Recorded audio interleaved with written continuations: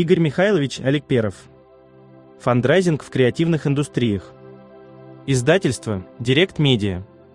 Фандрайзинг стал неотъемлемым условием деятельности образовательных, культурных, социальных, научных организаций, которые ищут и привлекают не только различные ресурсы для своего развития, но создают фандрайзинговую инфраструктуру с участием власти и бизнеса, реализующими свои задачи и получающими дивиденды от такого партнерства. Автор делится своим накопленным опытом, опытом менеджеров некоммерческих организаций, которые стали успешными, потому что смогли наладить эффективное взаимодействие с донорами. Пособие предназначено для студентов гуманитарных вузов, решивших посвятить свою жизнь менеджменту в некоммерческих организациях, креативных институциях. Также оно будет полезным для действующих специалистов в сфере культуры, образования, социального обеспечения. Предисловие. Оптимист верит, что мы живем в лучшем из миров. Пессимист боится, что так оно и есть. Закон Мёрфи.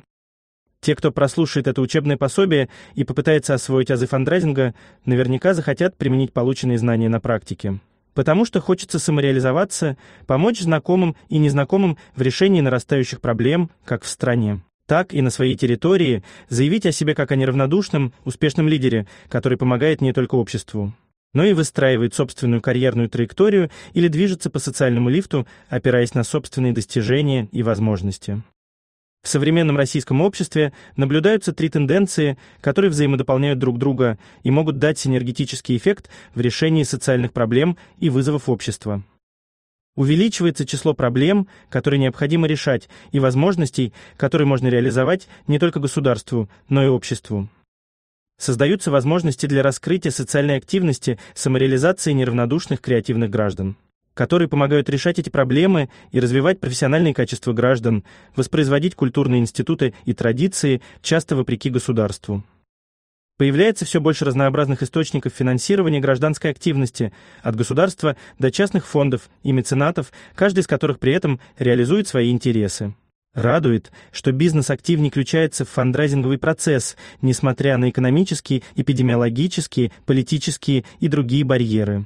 Потому что стратегически мыслящие бизнесмены начали, вслед за западными коллегами, признавать и оценивать не только имиджевый, но и экономический выигрыш от участия в фандрайзинге. Фандрайзинг является частью социального предпринимательства, которое активно в России стало развиваться значительно позже развитых стран мира. Но для дальнейшего развития недостаточно правовая база, дающая преференции как некоммерческому сектору, так и бизнес-среде. Тем не менее, данный процесс идет, и 2021 год может стать драйвером в связи с объявлением ООН годом фандрайзинга, что является, с одной стороны, признанием заслуг фандрайзинговых партнеров – а с другой – локомотивом дальнейшего развития. Как и любой относительно новый процесс, фандрайзинг нуждается не только в финансовых, но и в человеческих ресурсах, от управленцев до волонтеров. Успешная деятельность некоммерческих организаций и физических лиц, занимающихся инициированием и реализацией социально-культурных проектов, определяется не только желанием доноров участвовать в финансировании и партнерстве для решения важных проблем общества – но и коммуникационными навыками, опытом, способностями, человеческими качествами менеджеров некоммерческих организаций. Активизация гражданского общества, желание решать общественные проблемы и вносить вклад в развитие территорий, институтов, людей требует повышения профессионализма в привлечении различных ресурсов. Специальных профилей в высших учебных заведениях России, готовящих специалистов по фандрайзингу, сегодня нет. Есть учебные дисциплины, развивающие это управленческое направление, основы фандрайзинга, бизнес-коммуникации, маркетинг территорий и прочее. Так и курсы повышения квалификации, тренинги для менеджеров некоммерческих организаций в сферах искусства, культуры, образования, благотворительности. В то же время вызовы времени требуют более широкой и глубокой подготовки специалистов по фандрайзингу, тем более что данная деятельность – это не просто комплекс управленческих, коммуникационных знаний и навыков, но и человеческих качеств – к которым прежде всего относятся стрессоустойчивость, коммуникабельность, толерантность, целеустремленность, позитивность, ответственность, гуманность, эмпатия. В данном учебном пособии освоение фандрайзинговых знаний и навыков основано на сочетании фундаментальных теоретических, прикладных знаний, анализе успешных и не очень кейсов, тренингах, мастер-классах. Выполнении практических заданий, от составления заявки на грант до опробирования небольших управленческих и коммуникационных инструментов, помогающих продвигать свои идеи, проекты, опыт. Весь материал условно разделен на три раздела, в первом из которых вы узнаете, как и почему возник фандрайзинг, почему без него невозможно развитие креативных индустрий.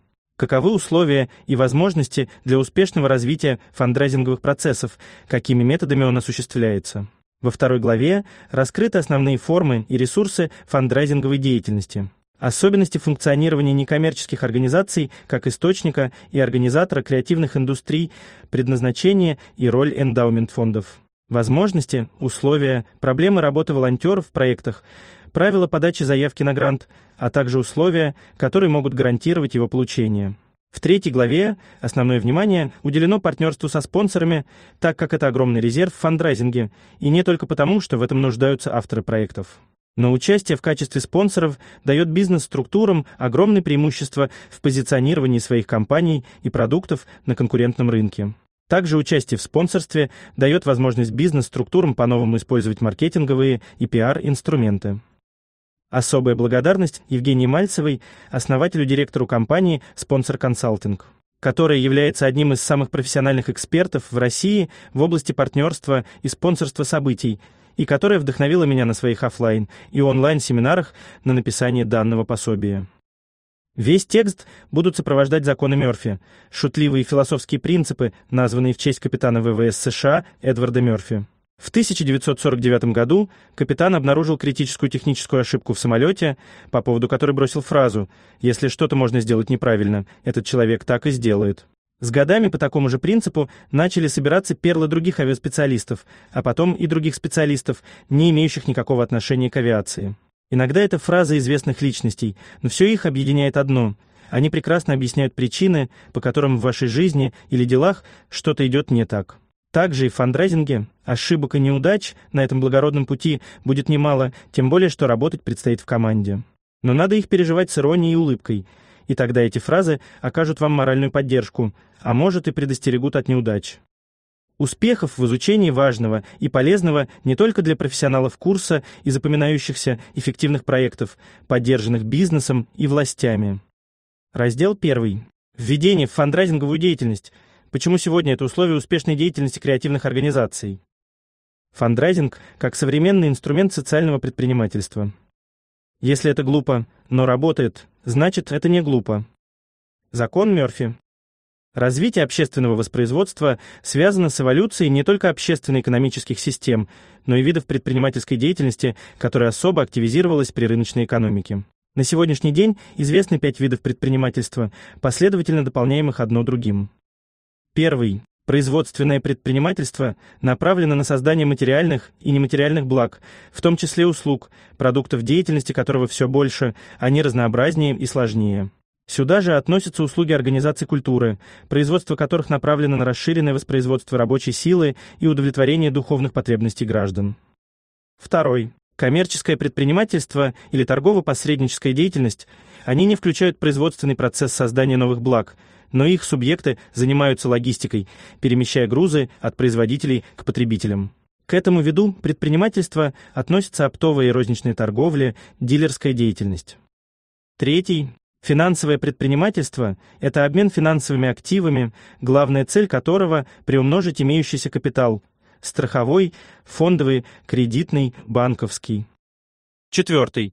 Консультативное предпринимательство, его появление связано с усложнением управленческой предпринимательской деятельности, которая требует новых финансовых, правовых, коммуникационных знаний и умений, что выделило в отдельную сферу – на аутсорсинг, консалтинговый бизнес. Пятый. Социальное предпринимательство, инновационная деятельность, направленная на решение социально-культурных проблем общества на основе окупаемости и тиражируемости. Возникновение этой деятельности, которая относится к третьему сектору экономики, связано с развитием гражданского общества, некоммерческого партнерства, необходимостью и встречным желанием бизнеса участвовать в некоммерческой деятельности. Критерии социального предпринимательства. Социальная миссия. Предпринимательский подход. Инновационность, новаторство в решении социальной проблемы, новая комбинация ресурсов, новая услуга для региона. Тиражируемость самоокупаемость и финансовая устойчивость. Примерами социального предпринимательства являются социокультурное развитие территорий и местного сообщества, создание благотворительных организаций для различных социальных сегментов общества, оказание услуг для людей с ограниченными возможностями, разработка и реализация культурных проектов, поддержка соответствующих институций. К основным инструментам фандрайзинговой деятельности относятся краудфандинг, краудсорсинг, фандрайзинг – Краудфандинг – способ привлечения финансовых средств от разных людей, как правило, через интернет для реализации какого-либо социально-культурного проекта. Обычно таким способом собираются финансовые ресурсы для реализации независимых культурных проектов, издания книг, песенного альбома, создания фильма, которые не получают государственного или корпоративного финансирования. Краудсорсинг – добровольный сбор ресурсов, денежных, материальных, интеллектуальных и прочее, для развития некоммерческих организаций, решения каких-либо социальных проблем, реализации проектов. Фандрайзинг – процесс сбора средств для реализации социально значимых проектов или поддержания существования некоммерческой организации. Первые эпизоды фандрайзинговой деятельности были отмечены в конце XIX века в США для привлечения денег в третий сектор когда возникает гражданское общество и возможности и потребности для помощи социально незащищенным слоям населения. Такая деятельность подразумевает развитие партнерских горизонтальных отношений, сообществ, возрастание коммуникаций между разными субъектами, бизнесом, государством, местными органами власти, некоммерческими организациями, в которых каждый достигает своей цели. Фандрайзер – это человек, помогающий другим людям помогать. В развитых странах фандрайзинг давно и активно используется обычно для сбора средств на следующие цели. Финансирование перспективных стартапов и проектов. Финансирование научных разработок и технических проектов. Содержание любительских команд и поддержку спортивных мероприятий. Спонсирование кандидатов, штабов, партий в политической деятельности, в том числе на выборах. Благотворительные нужды материальную поддержку культурных проектов, продуктов культурных институций и самих некоммерческих организаций. В СССР непосредственно фандрайзинга не было, и это связано с несколькими причинами. Учреждения культуры финансировались из консолидированного бюджета, и на источники финансирования не допускались. В отсутствие рыночной экономики, в условиях монополизации, постоянного дефицита многих товаров и услуг, предприятиям не было необходимости заниматься рекламным продвижением своих продуктов. Монополизирована была не только экономика, но и общественно-политическая жизнь в рамках КПСС и ВЛКСМ, поэтому развитие гражданского общества, инициирование некоммерческих проектов снизу не приветствовалось. Активизация общественной жизни в России началась во время перестройки с конца 80-х годов прошлого века.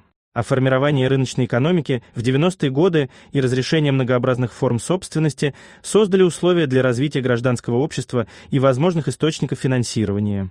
Однако полноценная фандрайзинговая деятельность в стране началась в начале десятых годов 21 века, когда были изучены зарубежные технологии работы с донорами, накопились проблемы в социально-культурной сфере которые государство не смогло или не захотело решать, активизировались гражданские активисты, инициировалось желание самореализоваться и создать интересные проекты для различных сегментов общества. Помимо аккумулирования ресурсов, фандрайзинг дает некоммерческим организациям широкий спектр дополнительных преимуществ позволяет диверсифицировать источники финансирования и снизить зависимость от каждого из них, устойчивость. Позволяет обратить внимание общества на проблему, для решения которой собираются средства, просветительская деятельность. Дает НКО возможность открыто заявить о себе, проинформировать о своих целях, пиар и продвижение. Способствует росту числа новых доноров, партнеров, волонтеров, сторонники. Залог успешного фандрайзинга – это правильный человек, который правильно просит правильную сумму для правильного проекта в правильное время в правильном месте. Разнообразная фандрайзинговая деятельность сводится к двум видам. Первый – стратегический фандрайзинг, проектный. Его целью является поиск и привлечение средств от различных доноров под реализацию проектов. Второй – оперативный, текущий – в данном случае финансовые ресурсы направлены на покрытие текущих расходов деятельности НКО, зарплаты, связь, коммунальные расходы, аренда помещений. Для понимания целей, средств, возможностей фандрайзинговой деятельности необходимо освоить основную терминологию. Благотворительность – добровольное бескорыстное пожертвование физических и юридических лиц в форме предоставления получателям минимальной финансовой, организационной и иной благотворительной помощи. Бенефициар – физическое лицо НКО, территория, которой получают благотворительную помощь. Грантодатель – частное лицо или организация, рассматривающая заявки на грант и предоставляющие гранты на конкурсной основе. Грант, дар, дотация – средства, безвозмездно передаваемые дарителям, фондам, корпорацией, правительственным учреждением или частным лицом на конкурсной основе некоммерческой организации или частному лицу для выполнения конкретной работы. Заявка – письменное обращение с просьбой о выделении гранта. Для коммерческого проекта аналогом будет его бизнес-план. Заявители – частные лица или организации, подающие заявки на грант.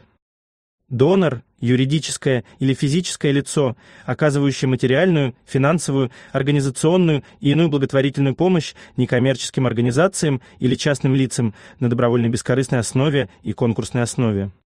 Донат – от английского «жертвовать», «дарить» – добровольное пожертвование от пользователя пользователю через интернет-ресурсы на благотворительность, благодарность автору, на развитие канала.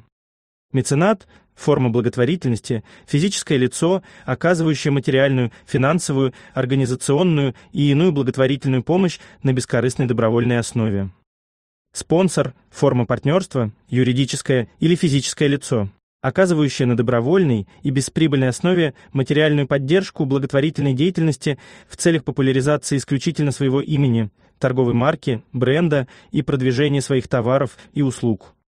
Проект – это совокупность процессов, посредством воздействия на которые решается задача в достижении цели при заданных ограниченных ресурсах. Неприбыльный, некоммерческий проект, комплекс запланированных мероприятий, объединенных общими задачами, целью которого является достижение социально значимого эффекта, а не получение прибыли. Некоммерческая, неприбыльная организация, НКО, НПО – Организация, не имеющая извлечения прибыли в качестве основной цели своей деятельности и ведущая свою деятельность, как правило, в социально-культурной сфере. Реципиент – организация или физическое лицо, получающее что-либо от другого субъекта или объекта, донора. Фандрайзинговая деятельность является следствием и условием развития креативной экономики, возникновение которой является фактором постиндустриальной экономики и развития гражданского общества. Это нужно запомнить. Ответьте на следующие вопросы. 1. Когда и почему возникла фандрайзинговая деятельность? 2. Чем отличаются краудфандинг, краудсорсинг и фандрайзинг? 3. В каких сферах чаще всего применяется фандрайзинг? 4. В чем отличие меценатства и спонсорства как форм донорства? Развитие креативных индустрий как объекта фандрайзинга. Секрет успеха в искренности. Как только вы сможете ее изобразить, считайте, что дело в шляпе. Закон Мёрфи.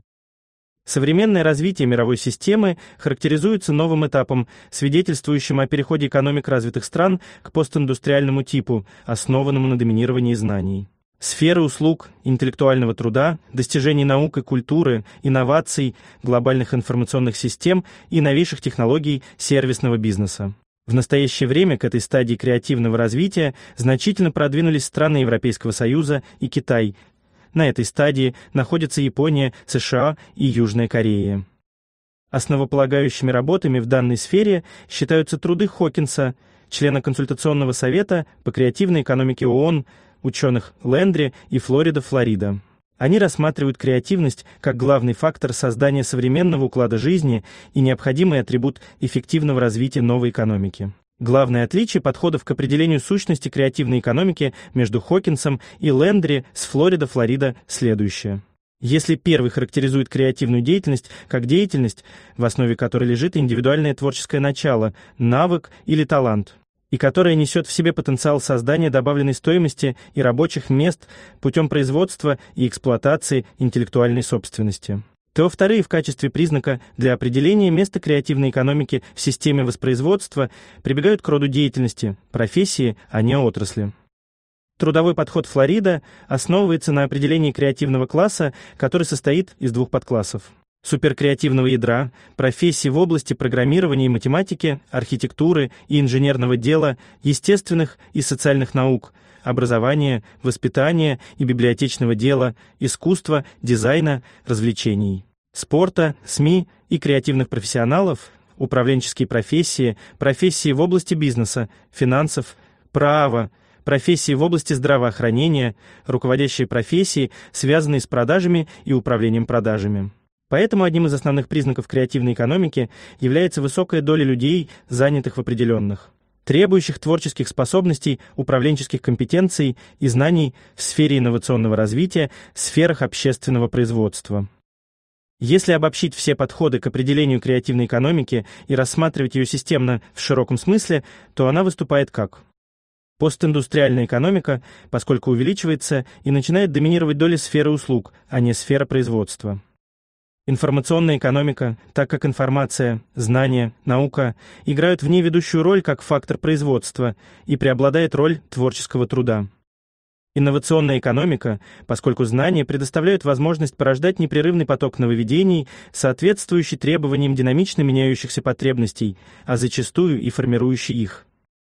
Глобальная сетевая экономика, поскольку в креативной экономике взаимодействие между носителями идеи опосредуется широкими сетевыми связями в мировом масштабе, возникновение сети интернет как новой инфраструктуры экономики. Экономика знаний, поскольку в ней растет значение человеческого капитала и инвестиций в образование и подготовку кадров. Таким образом, основное отличие креативной экономики от традиционного экономического уклада заключается в том, что главный инструмент в ней – это знание, ресурс, информация, а продукт – инновация. О важности и перспективности креативной экономики есть еще термин «оранжевая экономика», говорит тот факт что 2021 год Организацией Объединенных Наций провозглашен Международным годом креативной экономики в целях устойчивого общественного развития.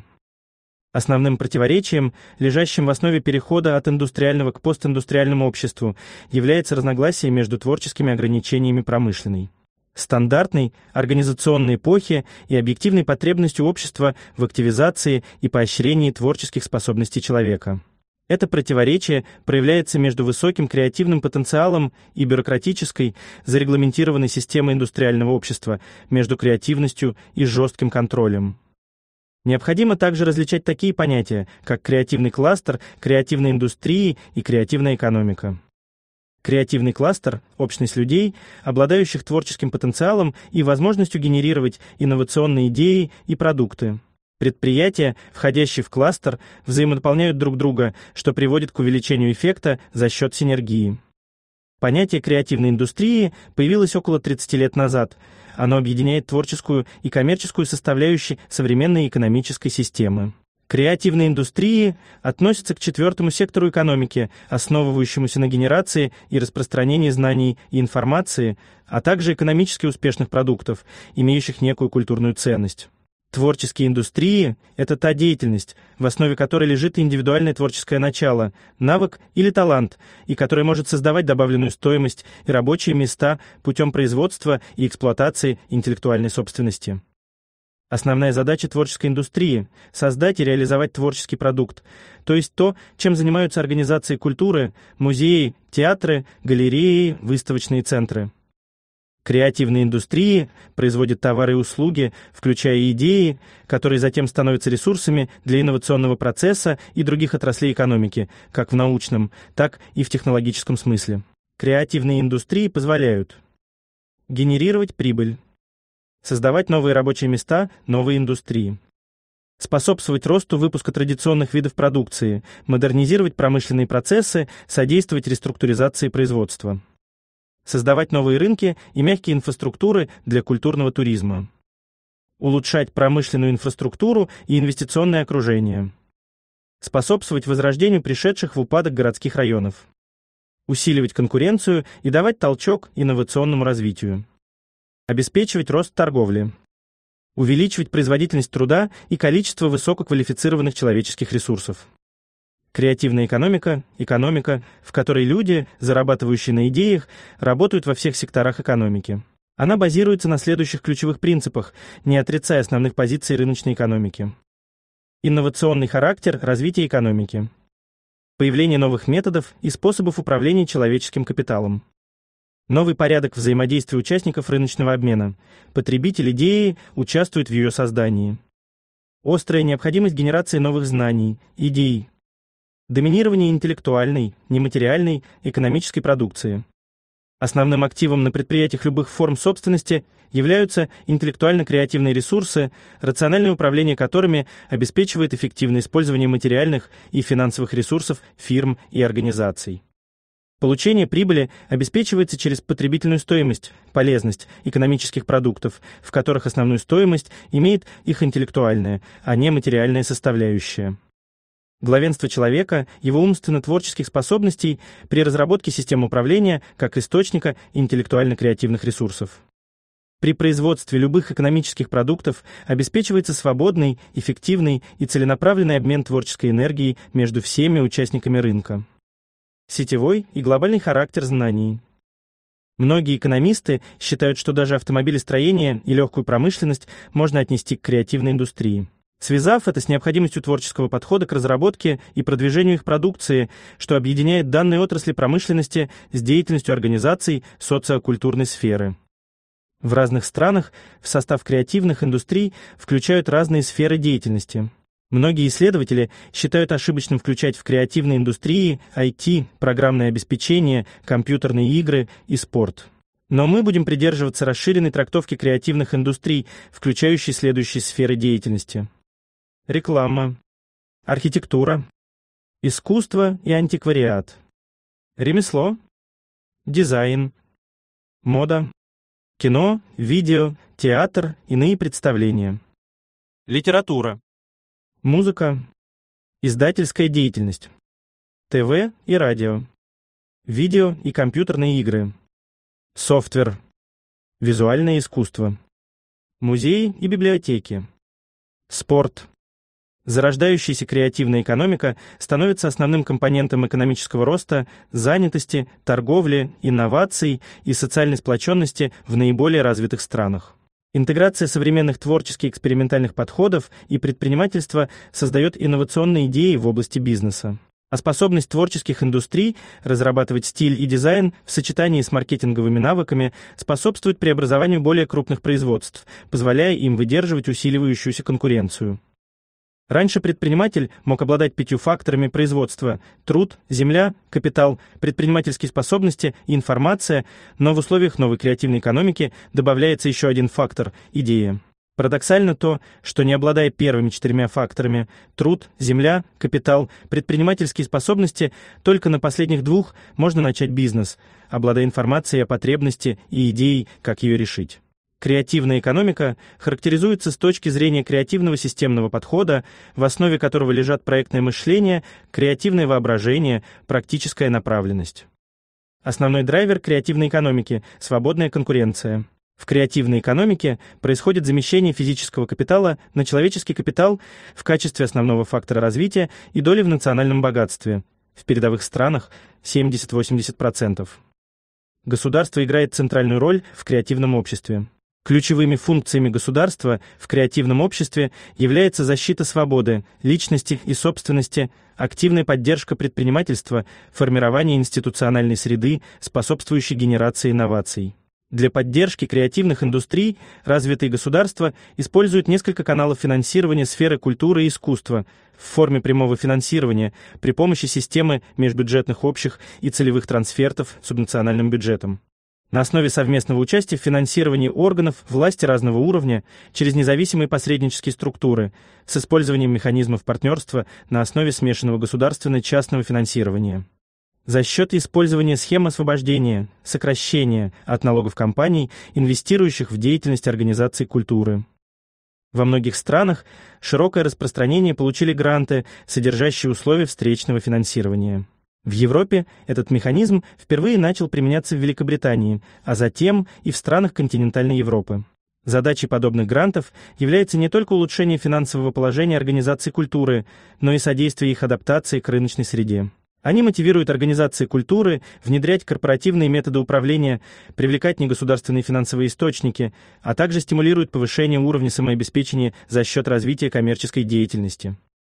Государственное финансирование социально-культурных проектов дополняется финансированием из частных источников, среди которых наиболее распространены меценатство. Спонсорство, поддержка из частных благотворительных фондов. В России это фонд Прохорова, фонд Виксельберга, Фонд Потанина и другие. Стартап на финансирование таких проектов часто сложно получить из-за туманных перспектив на рынке креативной продукции. Прогноз спроса на креативные блага труден, поэтому инвесторы рассматривают такие проекты как высокорисковые. В сфере политики появилось несколько моделей креативной экономики. Первой и самой заметной стала та, которая может рассматриваться как облегченный вариант индустриальной политики Великобритании и Австралии в разных вариантах, применяющийся в большинстве стран на севере и частично на юге Европы. Если креативная экономика связана с творческими инновациями, поднимающимися снизу вверх и возникающими в сети предпринимателей и малого и среднего бизнеса, то лучшим с точки зрения политики подходом будет просто не мешать им. По факту это может означать больше упор на обучение, поддержку предпринимательства, рабочих мест и создание, как правило, ориентированных на искусство, учреждений культуры. Второй можно назвать восточноазиатскую модель, когда правительство применяет успешную государственную стратегию роста в творческом секторе. Делая серьезные инвестиции в избранные отечественные компании, которым поручено учиться у игроков с репутацией и которым обещан защищенный доступ на новые отечественные рынки, ими же и создаваемые. Уровни инвестиций в этой модели несравнимо выше, чем в первой. Третьей и наименее заметной стала модель, существующая в США и в какой-то степени в Японии и даже в Индии. Давно сформировавшиеся индустрии с доступом на крупные рынки, в случае США на глобальные рынки, полагаются на укрепление законодательной базы в области авторского права и мощности зафиксированных сетей распространения, которые отрабатывают за них политическую сторону вопроса. Четвертую модель представляет ряд небольших инициатив, направленных на развитие базовых навыков среди местных производителей культурных объектов, собирающих из элементов базовую инфраструктуру и рынки, которые позволяют народным промыслам коллективной и кустарной деятельности выйти на самообеспечение и приносить доход. Наконец, зачастую параллельно с этими моделями, иногда инициируя их, существует широкое поле территориально обусловленных стратегий развития в которых инфраструктура культуры и творчества используется для более сильного репозиционирования территорий, кварталов, городов, регионов на развивающихся рынках творческой индустрии и или туризма. Таким образом, развитие креативных индустрий связано как с формированием постиндустриальной экономики, так и с развитием гражданского общества, реализацией творческих способностей граждан, репозиционированием территорий, культурных институций.